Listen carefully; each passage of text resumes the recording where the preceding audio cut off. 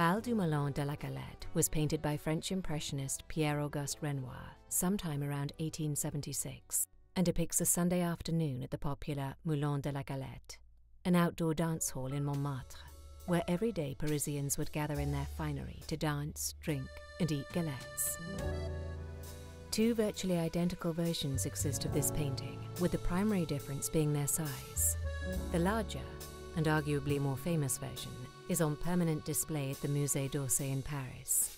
While the smaller version is a looser rendering, the paintings are so similar that it is almost certain that one is a copy of the other, but it is unclear which was painted first. Of particular interest in this version is Renoir's masterful use of chromatic black, where the artist uses a variety of hues to create the impression of black.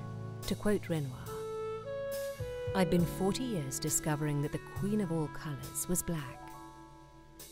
For many years, the painting was owned by John Hay Whitney until 1990 when it was purchased at auction for $78 million by Japanese businessman Ryouei Saito, who days before had set a record with his purchase of Van Gogh's portrait of Dr. Gachet for $82.5 million. It's my principle to get what I want, no matter how much money it costs. I was able to purchase two great paintings, and I feel like riding to heaven. The following year, Saito caused international outrage by proclaiming he intended to be cremated with both paintings, a comment he later dismissed as a joke. However, upon encountering legal and financial difficulties, a private sale was arranged through Sotheby's to an undisclosed buyer whose whereabouts are unknown.